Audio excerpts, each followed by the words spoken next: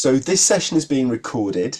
Um, what we'll do afterwards is I'll publish this online. Uh, it, will be on YouTube, um, and I'll try and make it. I'll make it available through to watch back through Zoom as well. So if people are in part of the world where they can't access YouTube, they'll be able to watch it. But uh, I can see we've got quite a few people who've, who've logged in. Um, I'm going to start off uh, explaining uh, who we are and how this is going to run. So first of all, my name is Kim Morgan. I'm the Outreach and Communications Coordinator at UCL Biochemical Engineering and it's great to have you with us today for the first of our Engineering Virtual Taster Lectures.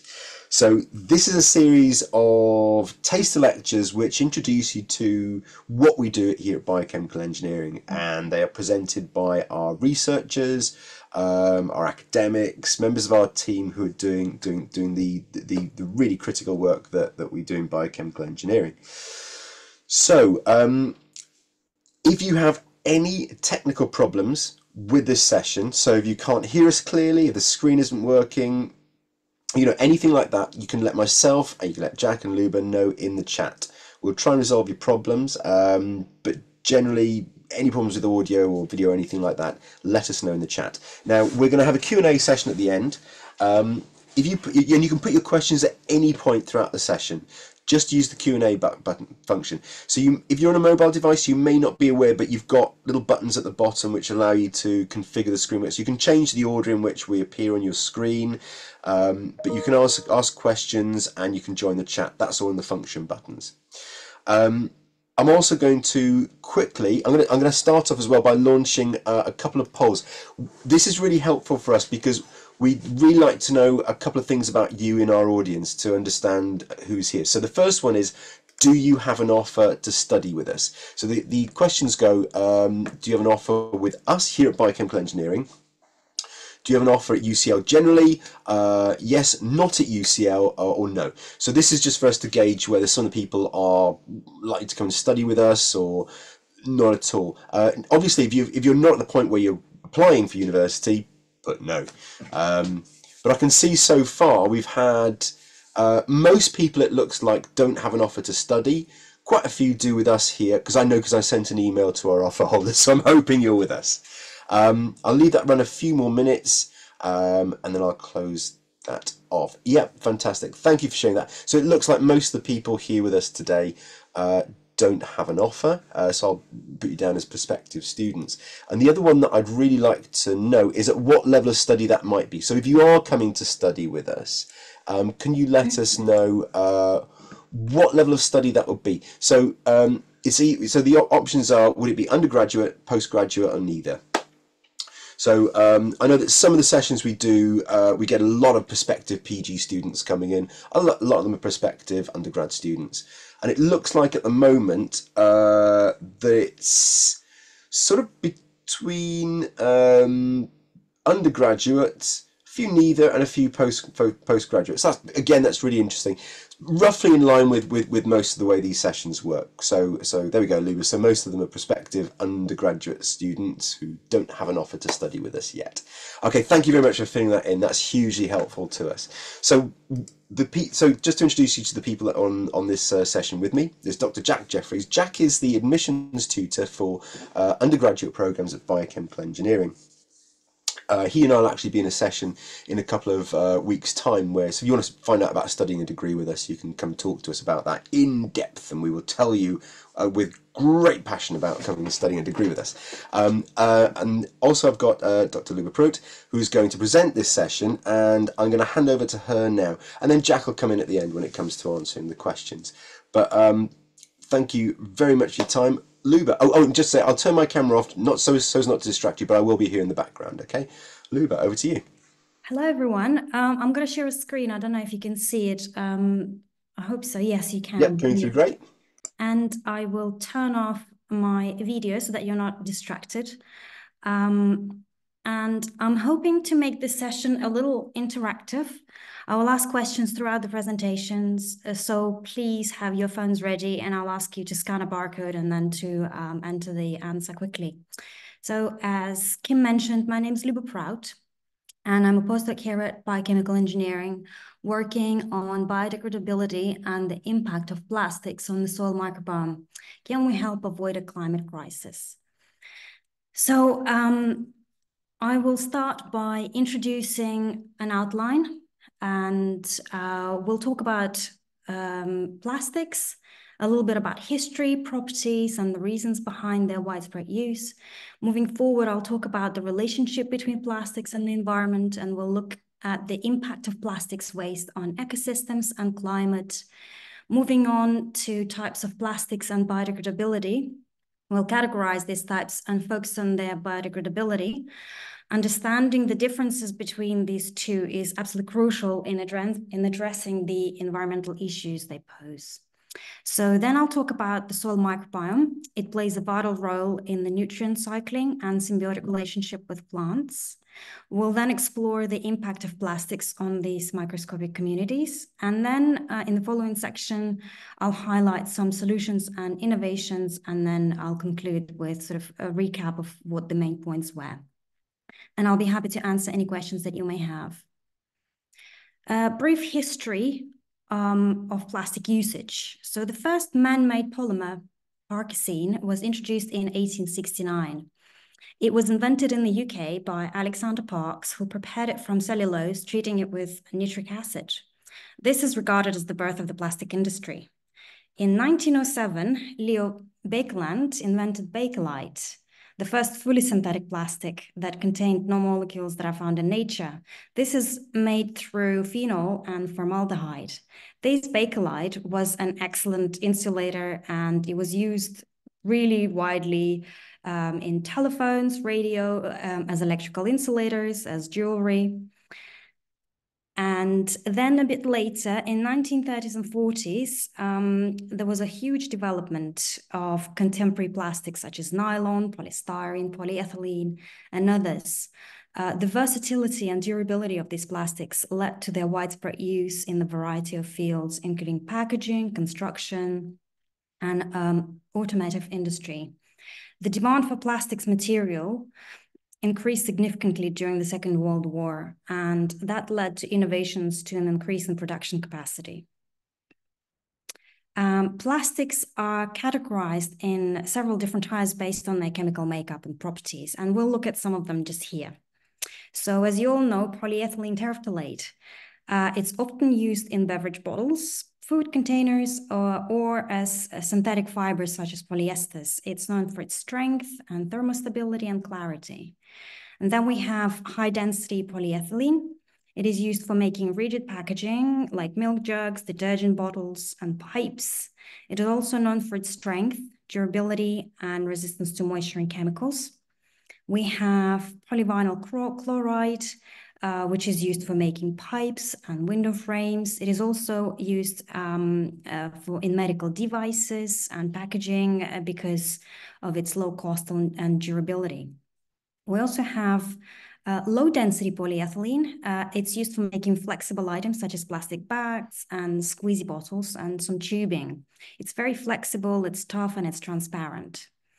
Uh, then there is polypropylene. It's commonly used in containers and toys and um, other important parts of our daily lives like cars. It is known for its resistance to chemicals and heat.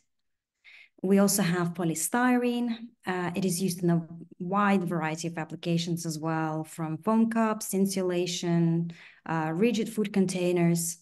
It is really lightweight and uh, great at insulating things, but it, it is also quite brittle. Uh, we also have nylon. It was developed in 1935 uh, um, at DuPont, an American company, one of the largest chemical producers in the world. And it was first um, used for toothbrush bristles, and only later it became sort of uh, famous um, and used in women's stockings. Um, one of the other polymers is polymethyl methacrylate, known as acrylic or acrylic glass. It is transparent, transparent and very lightweight and shatter resistant, so used as an alternative to glass. And finally, we have polytetrafluoroethylene, a bit of a mouthful there. Um, and that's why it's known by its brand name Teflon. Um, again, produced at DuPont, an American company. It is known for its non-stick properties and used really widely uh, in cookware and various industrial applications. So in here, I would like to ask a quick question. How long do you think um, it takes for a plastic bottle to biodegrade in nature? So I'll give you maybe um, a few seconds to answer that.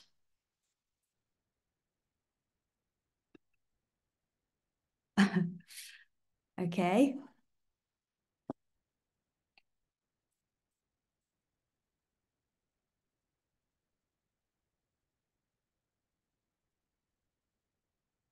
Alrighty, so some numbers are coming up.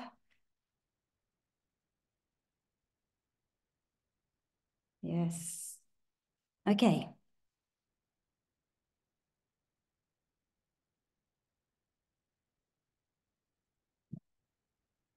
Okay, let's stop there. So um, the correct answer is actually D. So it takes about 450 years to degrade, but this bracket 400 to 1000 is sort of a rough estimate as to how long it actually takes for a plastic bottle to biodegrade. You can see um, how big of a problem that is um, for the environment. So um, let's take a look at the scale of our relationship with plastics. Uh, the latest trends in uh, production and consumption rates have, have reached 400 million metric tons per year. And the cumulative total of plastic produced to date is over 8.3 billion metric tons. I don't think it's actually possible to comprehend just how much that is. So um, just to be able to uh, understand it a little bit, I've uh, sort of equated that to uh, different things that you can really think about. So in terms of football fields, that's 1.1 million football fields. It's 8.3 trillion kilograms and around 5.3 trillion lit liters. So that's huge amounts. And the um, snapshot is that most of the plastic is produced in Asia. So these countries manufacturing uh, most of the plastics, and that number is followed by North America and Europe. By the 1960s and 1970s, the environmental impact of plastics waste have um, become a growing concern. So the durability of plastics, uh, once seen as a benefit, has led to um, the significant environmental problems again, due to their long decomposition times. The recycling symbol was introduced in 1970, and the first Earth Day uh, was celebrated on the 22nd of April, highlighting the growing concern for environmental issues, including plastic pollution. So all the way back in 1970s. Um, current efforts are attempting to address some of the environmental issues and pollution by increasing recycling rates developing biodegradable plastics, and implementing regulations to reduce this single life, uh, single-use plastics. So the problem of plastic pollution um, is that it's um, it's it's a global problem, and we need to um, promote sustainable use of this material. In an attempt to deal with the plastic waste pollution, many countries opt to outsource the plastic waste to other countries. And this diagram here represents top 10 plastic waste exporters and importers. As you can see, almost all the countries on the left, the exporters are the developed countries, whereas key importers on the right are mostly developed are mostly developing countries that do not have a well-developed or efficient recycling infrastructure.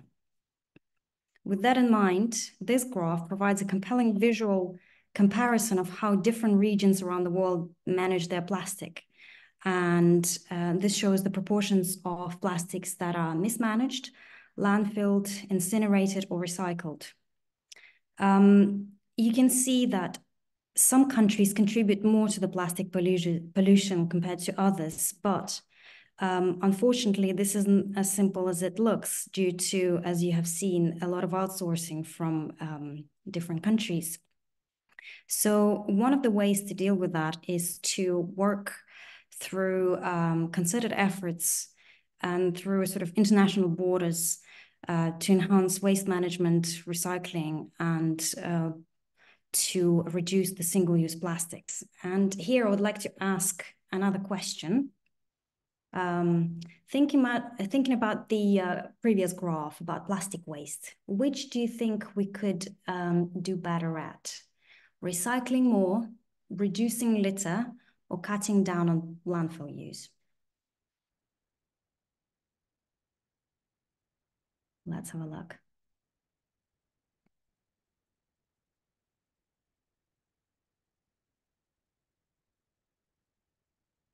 Interesting.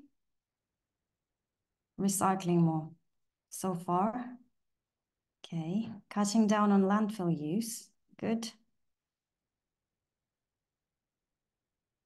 Okay. Okay, let's stop there. So it's an interesting answer here. So let's let's keep going. Um, now let's look at the pressing environmental challenges posed by the plastics. Um, only around 9% of all the plastic waste produced to date has been recycled. About 20% has been incinerated, and 79% of that is accumulated in landfills, dumps, and the natural environment. Single-use plastics, um, such as water bottles and plastic bags, const constitute a significant portion of plastic waste. Over 1 million plastic bottles are purchased every minute globally, and up to 5 trillion plastic bags are used worldwide each year. So that's a huge amount of, of plastic, single-use plastic. Um, 99 of that plastic waste is made from fossil fuels, and around 8 million tons of plastic waste enters the oceans each year.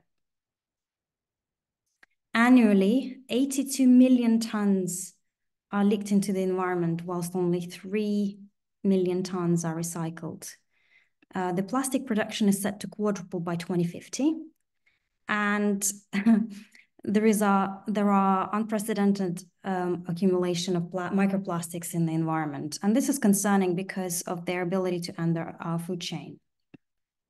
Annually, there are over 100,000 ma uh, marine mammals and over 1 million seabirds killed through ingestion or entanglement. And finally, plastics has been found in human blood, brain, and placenta. And I have another question here. Um, true or false? Eating a plastic-free meal is impossible. What are your views?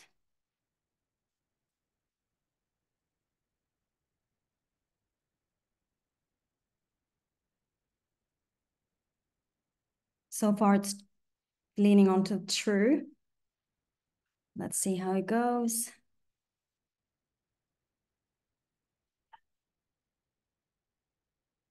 Yes, well, um, it is almost true in most cases. It really depends on how your food is packaged and processed. If you're growing your own food, it's less likely to be contaminated with microplastics. If you're buying it, especially if it's highly processed, it's likely that it will contain microplastics. So there you go. Next, we're looking at what we have. So we have a huge environmental problem. Um, I would say it's an, an environmental crisis. And we need to find ways to um, understand how we got here. And let's look at the types of plastics and their biodegradability. The term biodegradability refers to the um, material's ability uh, to be broken down naturally by microorganisms. Um, the organisms include bacteria, fungi, maybe algae, and they're broken down into biomass, water, and carbon dioxide or methane if this is happening in anaerobic conditions or without air. And this has to happen within a reasonable time frame.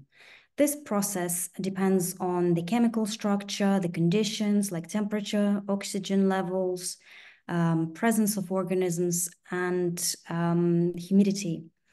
Biodegradable, biodegradable materials are often contrasted with what we know as non-biodegradable ones, which persist in the environment and uh, that cannot be degraded uh, by natural processes.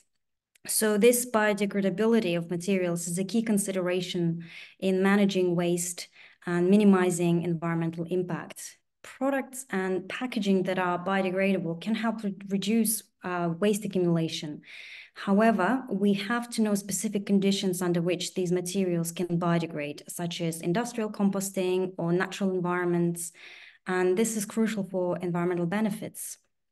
or to maximize environmental benefits. As shown in this diagram, uh, polyolefins in pink are the largest class of non-biodegradable polymers. Uh, they include polymers such as polypropylene, polyethylene, polystyrene, and these account for 75% of global plastic production at present. Some scientists are working on enhancing biodegradation of these with pro-oxidants, um, and um, these pro-oxidants usually um, are um, transition metals such as iron, cobalt, manganese, and copper, and they are um, added up to around 5% um, by weight of the of the product. So the, the, the key idea um, is that on weathering, this synthetic polymers can degrade into smaller fragments. And this process is usually triggered by uh, sunlight or heat and oxygen with the transition metals acting as catalysts. Um, it is thought that smaller fragments then can be assimilated by microbial organisms and converted into biomass. Uh, however, the degree um, of microplastics then um, and toxicity to microorganisms uh, has not been fully investigated or understood. Uh, the development of biodegradable plastics, uh, shown here in green, began in 1980s and 1990s, and uh, it was driven by the growing environmental concern and the search for alternatives to petroleum-based plastics. And the key uh, biodegradable alternatives include polyhydroxyalkanoates, um, polylactic acid, polyvinyl uh, alcohol, uh, polybutylene adipate terephthalate, starch, and some um, others. Um, compostable plastics are uh, only a subcategory of biodegradable plastics, and it's designed to biodegrade under composting conditions, uh, and it should degrade into water, carbon dioxide, and some biomass. So the two main types of compostable plastics, um, based on their commercial uh, availability and, and, widespread usage, uh, are polylactic acid and polybutylene terephthalate. Um, while offering a promising solution to this huge plastic pollution problem, these biodegradable plastics come with their own set of challenges. Uh, their effect on soil microbiome is not fully understood. Um, they might promote and encourage, encourage the throwaway culture under the misconception that they don't harm the environment. They create confusion when it comes to waste disposal, which results in the contamination of recycling streams. So, as you can see, importantly, not all biodegradable plastics break down under natural environmental conditions, and some require specific industrial composting conditions, such as high temperature and humidity. Uh, there is also a lack of uniform standards and certification um, for what constitutes biodegradable plastics, and that leads to consumer confusion. So at UCL, uh, we uh, at biochemical engineering in particular as well, we're looking at all these different issues and are investigating the approaches that are best for dealing with the different types of plastics. Uh, let's quickly look at um, the topic of the soil microbiome. As mentioned, among the key factors uh, for, soil, uh, for plastic biodegradation is microbial activity. Uh, soils naturally contain microorganisms such as bacteria, archaea, algae, uh, fungi, uh, which play a crucial ro role in breaking down organic matter into simpler substances that can then be absorbed by the environment.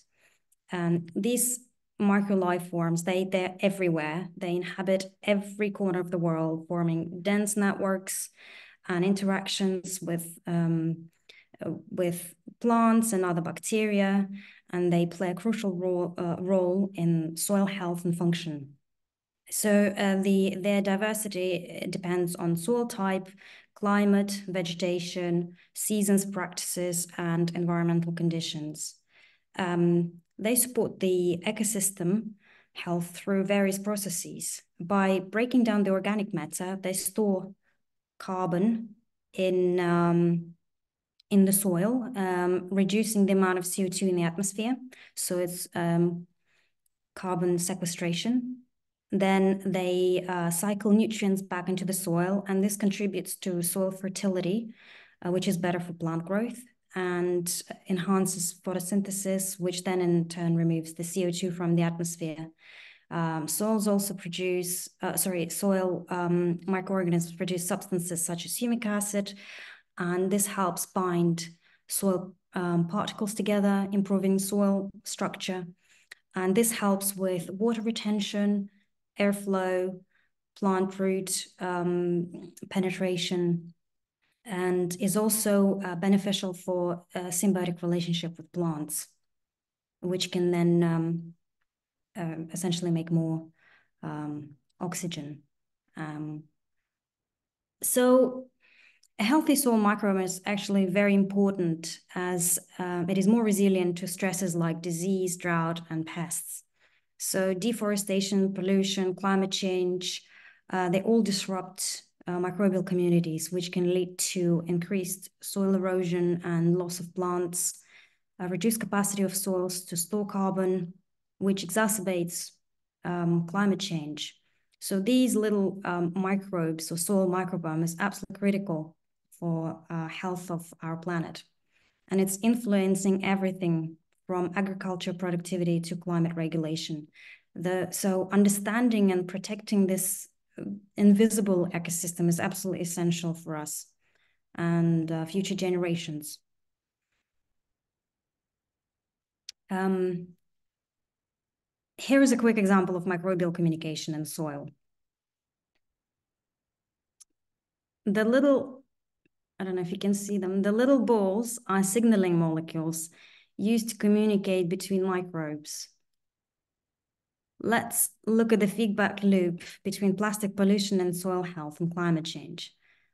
Um, plastic breakdown in the environment releases methane and ethylene. These are two potent greenhouse gases.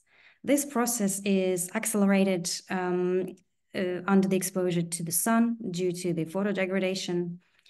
And um, the microplastics that is resulting from that can affect the microbial production of signaling molecules um, and these signaling molecules are absolutely essential for the inter and intra-species communication and relationship with plants and nutrient cycling. Microplastics absorb the signaling molecules, and some microplastics can also release um, additives that can be toxic to soil organisms. It changes the soil structure and disrupts the, uh, the pore connectivity, which is important for the movement of gases and water. So um, this really does degrade and disrupt the soil's ability to process organic matter. As climate change intensifies, um, the partial degradation of plastics in the environment is likely to increase, and this will release even more greenhouse gases. Simultaneously, this will accelerate climate change, which can then lead to more natural disasters, which will then lead to more plastic production in response to uh, changing circumstances, which will then lead to more plastic pollution. So addressing plastic pollution through um, reducing production and enhancing recycling, as well as cleaning up existing waste, uh, can break this feedback loop.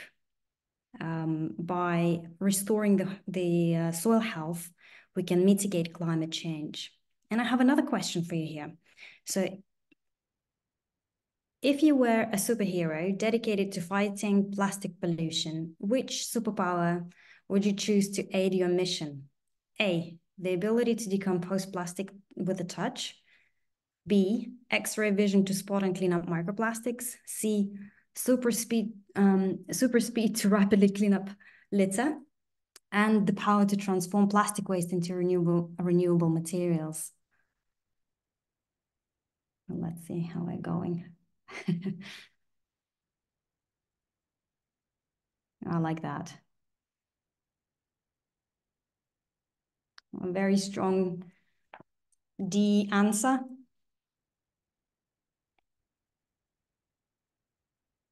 Great, let's move on.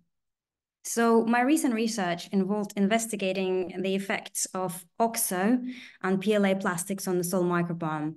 If you remember from a few slides back, the OXO plastics is made from a non-biodegradable polymer such as polypropylene, and it has various different additives added to it to speed up the biodegradation. Polylactic acid, or PLA, is a bio-based polymer that is prepared through dehydration process. So lactic acid is a natural molecule that is produced by bacteria as well as mammals and humans. So uh, this slide um, outlines our methodology to investigate the simple changes in the microbial community in soil. We used one gram of soil with 20 milliliters of nutrient-rich solution, and we added a little plastic cut. These samples were incubated at 37 degrees for the OXO experiments and at 50 degrees for the PLA experiments for up to 36 weeks. Uh, to determine if there were any changes to the microbial composition, we collected these samples at various time points. Uh, to begin the analysis, the DNA from each sample from all organisms present in the sample was extracted and purified. In the next step, this, what we call metagenomic DNA, was barcoded, pulled together, and then sequenced. Uh, recent developments in the DNA sequencing field allow us to do that locally, locally in our own lab. And we use a special dongle called MinION and a flow cell, um, which is a component of that um, uh, technology, uh, together with a computer. This process generates DNA reads that are later demultiplexed and sort of untangled into meaningful data using specific workflows developed by the DNA uh, sequencing platform. Uh, speaking of bacteria in particular, some regions of DNA are unique, which allows us to identify and classify organisms to uh, genus and species, and maybe sometimes strain level uh, that are present in samples. Once we have this data, uh, we can then analyze microbial distribution in samples and uh, perform statistical analysis on it. So, but due to the vast amount of data, this can only be done computationally using a programming language. Uh, so what did the results show? For the oxoplastics, uh, this was the first study of this kind in the UK. So our experimental conditions mimicked the UK climate uh, or temperate climate. After eight and a half months, we didn't see any biodegradation or any effect of the soil um, on the soil microbiome. The analysis has shown that there is a potential for non-biodegradable types of plastics to have an effect on the soil microbiome, but only after a longer period. So what does that mean?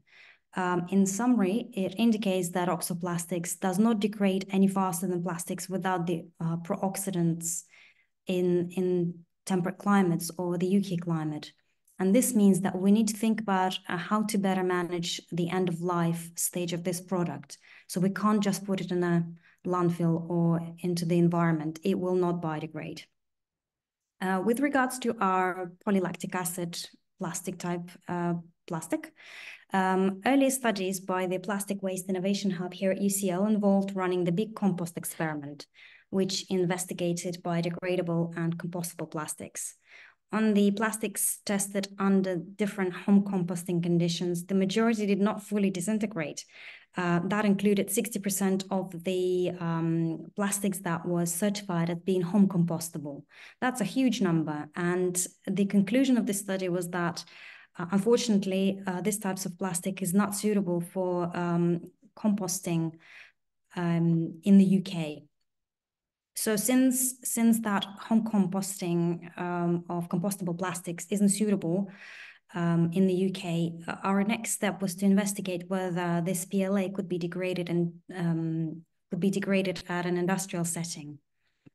Uh, so the experimental conditions in my project mimic industrial composting settings. And our results showed that uh, complete degradation of PLA was possible at 50 degrees and it happened within six to eight weeks, which is a really good result. However, the analysis has shown that there are significant changes to the soil microbiome and we do not yet know whether these changes are beneficial or detrimental to the soil. So there are two sides of the coin with that. Um, here I'm going to showcase a couple of other projects that we run at UCL. Uh, we're exploring various cutting-edge solutions for plastic waste um, degradation. That includes uh, developing enzymatic routes to degradation uh, of different types of plastics, as well as exploring developing um, different ionic li liquids to speed up enzymatic degradation. We work with anaerobic digester to see if some of the plastics degrade better in uh, oxygen-free environments. And um, one of the newer projects also is uh, the development of novel biodegradable polymers uh, for tree shelters. Uh, one of the biggest plastic pollution contributors are, as you know, probably nappies and incontinence and period products. And here, our new research project at UCL will also conduct uh, several things. Um, it will uh, look at life cycle analysis, behavioral analysis, um, the materials and designs involved, and how these can be improved, as well as how we can maybe find a way to um, degrade nappies and those products um, using enzymes, so biochemically. All very exciting. How can we help change our plastic waste trajectory? Um, of course, uh, science-based solutions, innovative uh, recycling technologies such as chemical enzymatic recycling, development of novel bio-based biodegradable and compostable products.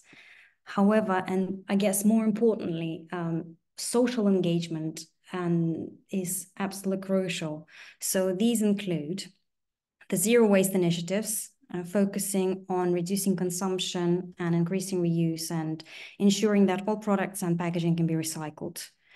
And then policy and legislation, which um, bans um, single-use plastics, maybe um, imposing taxes on plastic products, setting recycling targets and supporting research into alternative materials, as well as international agreements to coordinate efforts to reduce the plastic pollution. And there is also industry commitments, which um, looking to redesign products to use less plastic or to use sustainable materials. There is an extended producer responsibility that looks at um, absorbing the entire sort of life cycle of the product from production to um, recycling or end of life. And of course, there are global movements by citizens to uh, clean up plastic waste from oceans and different communities and raising awareness um, for the plastic pollution. It's only by doing all of the above we can help address global challenges of the plastic pollution. So I've got a question for you. Which one do you think has a greater impact on solving the plastic pollution crisis? So the technological innovation, changing human behavior, or none of this, or anything else?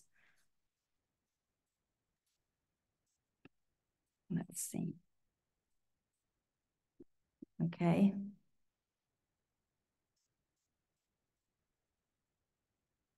Yes. Oh, it's gone. I think it's both, but yes, changing human behavior for sure. Yes. So let's move on to quickly um, how we can help. There are very few things each of us um, can do. So it's not using single-use plastics, choosing unpackaged goods, recycling really well or correctly, um, advocating for changes, raising awareness through social media, engaging in sustainable programs, volunteering, or supporting environmental organizations. There is even an app which is called Litter Lotto, where you can um, win money for just putting rubbish into the bins, um, which is which is really quite great. So, just to sum up, um, in this presentation, I covered a brief history of plastic development. We looked at different plastics products and their uses. We then touched on um, the production rates, waste accumulation, and environmental impact. Um, we um, looked at plastic waste, um, uh, at, sorry, at plastic types and um, their biodegradability. We looked at the soil, microbiome, and its role in ecosystems. And then we looked at the plastics and its effect on the health of the soil microbiome in the context of climate change. I showed a few uh, slides of our projects here at UCL, and we looked at some solution to the crisis. I hope that you don't think that plastic is this evil product. It isn't. Plastic is an amazing invention, and many items are extremely useful in everyday part of our daily lives. The problem lies with the end of life and uh, waste management and with recycling or lack thereof. Uh, because waste systems and infrastructure are unable to cope with this uh, current amount of plastic waste and production, it's it's us, the consumer, who um, needs to help um, reduce um, the waste uh, and, and plastic consumption. So I've got one final question for you, and it is on a scale one to 10, how optimistic are you about saving, uh, solving the plastic pollution crisis with current biodegradation technologies?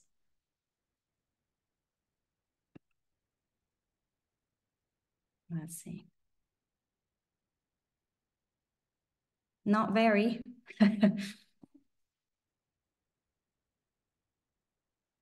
Well, that's better. One, a few eights. Well, there you go. So we can all do something about it. Thank you. I would like to thank you for your attention. I would like to thank uh, Helen, Mark, and Jack, who uh, came up with these projects. And um, I would like to thank uh, Natural Environment Research Council for funding. And I've got a few links if you're interested to follow on some of the um, data and current research. And if you have any questions, I'm happy to answer them. Thank you very much.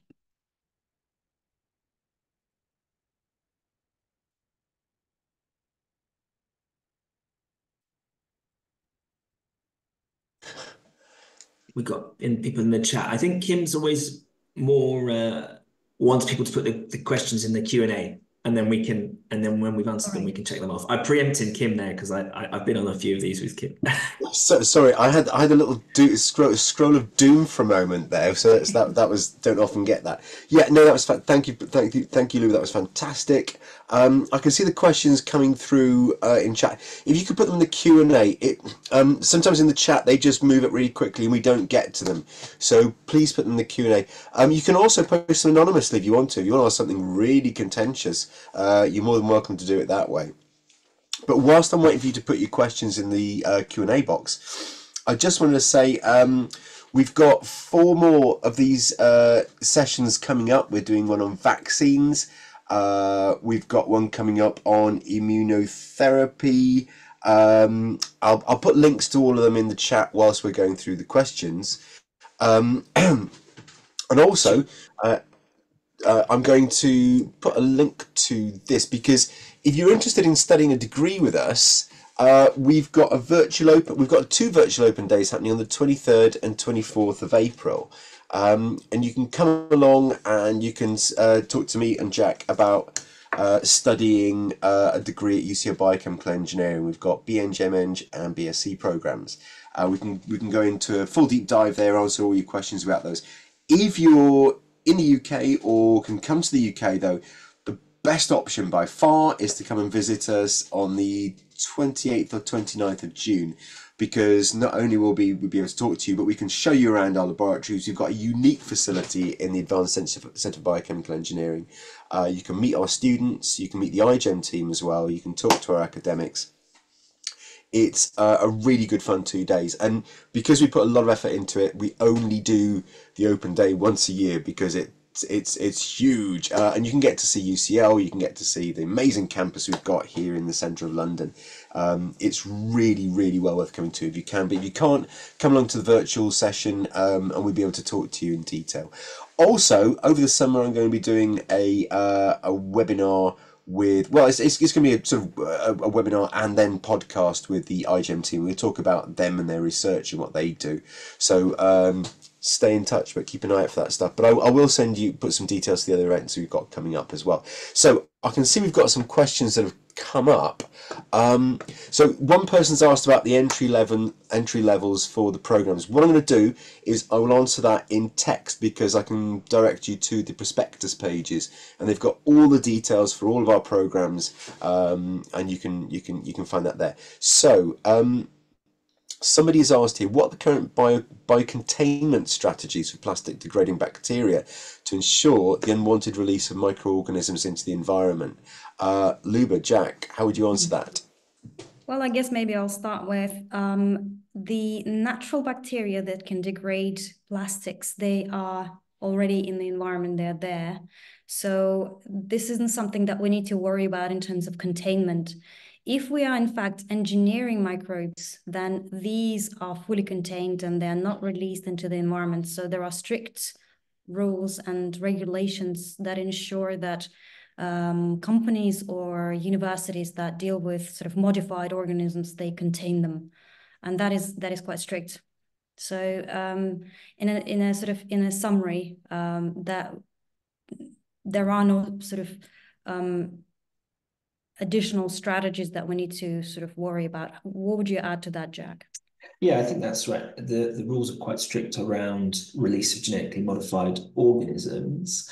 There is intellectual effort, there's academic effort to develop genetic systems which would mean that any engineered organisms did not have an advantage or could be controlled, but none of those are at a stage where policy is effectively allowing it in the in the microbe space, obviously in plant space, we all know about genetically modified organisms and there's contention around that. But in the microorganism space, there's no technology which has been developed, though it is being developed as an academic pursuit, an industrial pursuit, that has convinced policymakers, at least in the UK and in Europe, that release of genetically modified organisms at the microbial level is safe, which is what Lube has said, but in a very long-winded way. And the other thing I would say is, yeah, the wild organisms are already, they're already out there. And one of the things that we've been pursuing is saying, right, can you take these organisms which do it naturally and can you just enrich for them? So can you just grow a load of them and then put them in the environment? And that's kind of gets around it because they're not modified, they're wild type, but you're increasing the chance and the prevalence of them in a particular niche, and therefore they will break down more of the plastic. That's one way of sort of engineering the problem and not engineering the organism. That's a good question. Very good question. So there's another question that's come up, mm. which which is which is a really interesting question, which is how do microplastics affect the gut microbiome?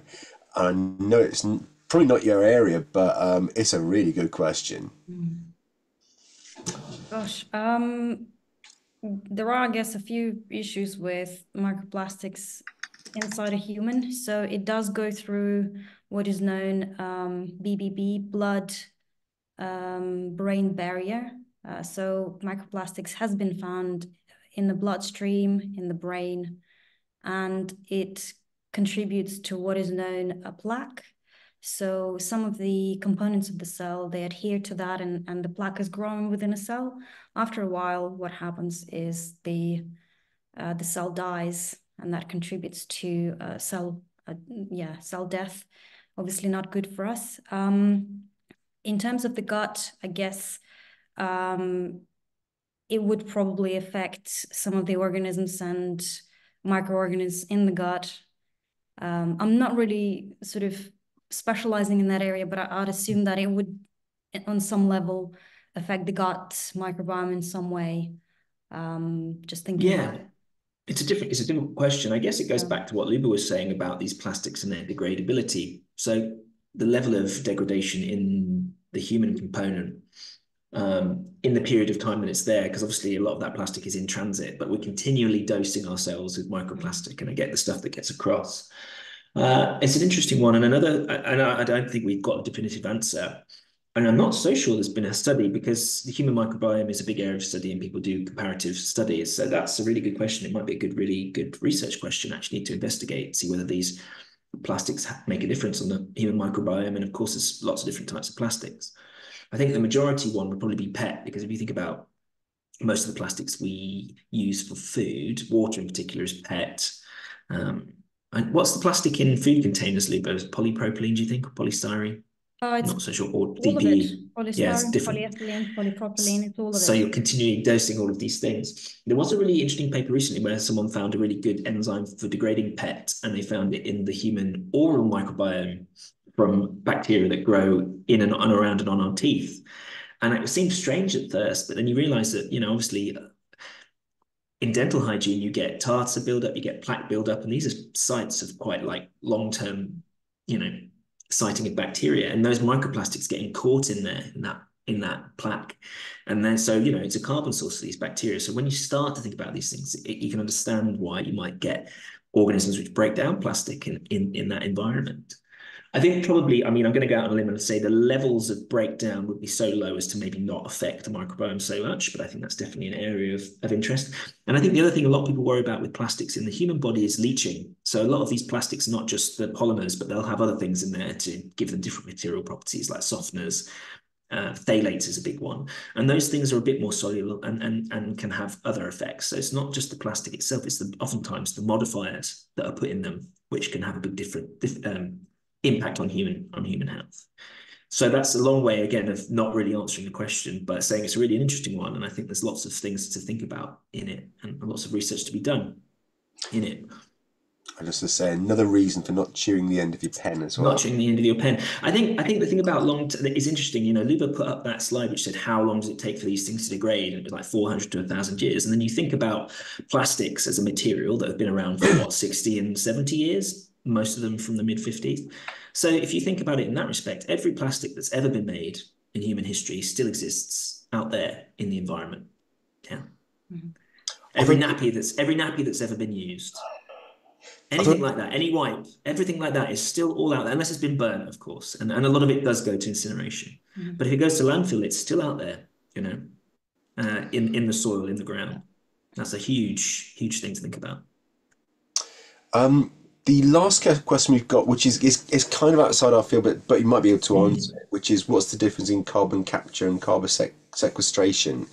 Um, I mean, that's, that's a really good question. Sure. Um, I, I don't. I mean, have we have we done any work in carbon capture? We, uh, we don't do a lot in carbon capture uh, in the way that people are probably thinking about it online, which is about CO2 extraction from the air. But of course, microorganisms can do that. I guess the thing, the difference between carbon capture and carbon sequestration is that, well, you need to capture carbon to sequester it, and if you capture carbon, you don't necessarily have to sequester it. You could always just re-release it. So usually they come together, carbon capture and sequestration, sequestration, CCS, right? So you have the process of drawing it down from the atmosphere, and then you've got to store it somewhere. And how do you store it? Now, in a biological context, plants and trees and all photosynthetic organisms capture and fix carbon and sequester it in carbohydrates. Yeah. And then if they go into the ground, that's, you know, we understand how fossil fuels, that's a very biological way of um, carbon capture and sequestration. Yeah. Uh, but the physical ones, the engineering ones, are much more about yeah the physical processes of CO2 extraction from the environment. Um, so I guess that's the answer to that question. I mean, it's it's more of a distinction than a difference. Carbon carbon capture is the process of drawing it out of the air, and the sequestration sequestration is then how do you store that long term? And of course, there's different ways you can do that. But um, I mean, if you if you've got an eye on um, a Nobel Prize for yourself, finding a way of doing it biologically uh, would be excellent. And also bearing in mind, I, I, guess the sheer amount of carbon dioxide that is captured by algae and then drops into the sea. Uh, Absolutely. Uh, I mean, it's it's it's got amazing potential. That's so. If you if you'd like to do that in a few years, we'd love you to get a Nobel Prize for the department.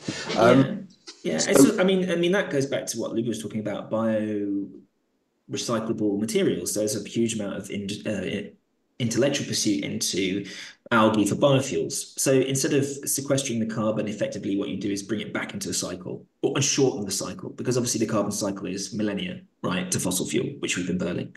But if you can do that turnaround in days, so from CO2 to biofuel, then you you, you close that loop. That's not going to be the solution to the to, to the problem of, of climate change. Absolutely not.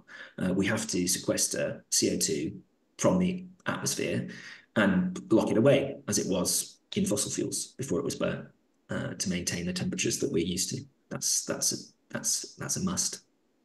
But we've also just got to stop pumping it into the environment because we just continually pump it into the atmosphere. Yeah. So, you know, it's a bit of which one first? Probably both at the same time is is needed.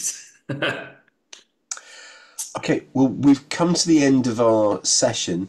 Oh, um, okay. There's there's there's uh, th- there's one question that's come in, which is about um, how many people. I mean, I can I, I can I mean we can answer this one yeah. quickly. Uh, it's about how many people roughly study engineering undergraduate.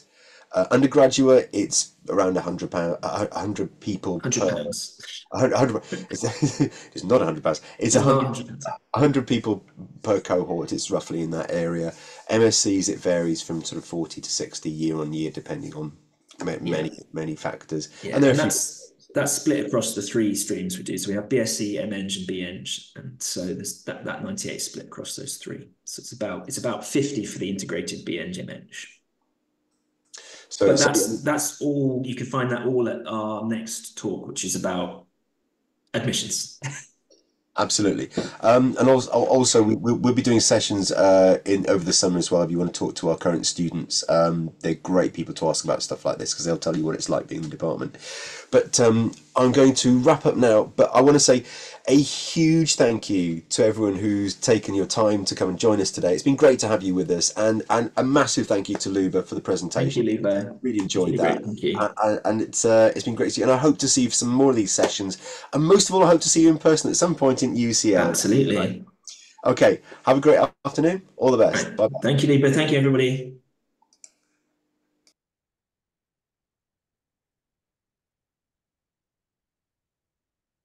We'll see everybody out.